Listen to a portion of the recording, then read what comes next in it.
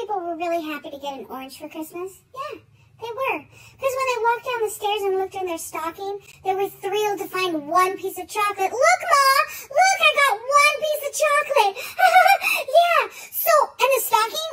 That wasn't really a stocking. It was a pair of socks that your mom made. But you were happy to get them because then you could cram them into the boots that you got. They were way too big because they were hand-me-downs and they already had a hole in the bottom of the sole. So when you walked through the snow, freezing, with a lantern, oh ma, please, please, please may I get a for Christmas so that I can see my way through the snow to feed the animals in the early morning dark.